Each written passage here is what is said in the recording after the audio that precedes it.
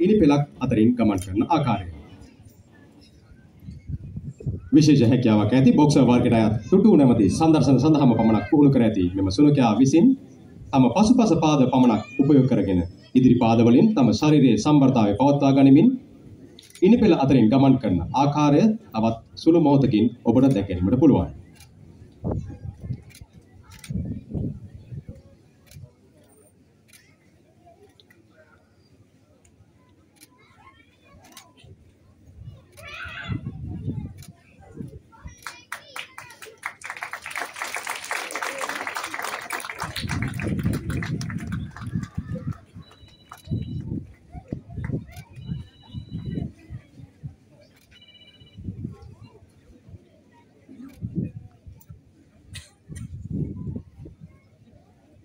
ඔවුන්ගේ උත්සාහය සාර්ථකයි.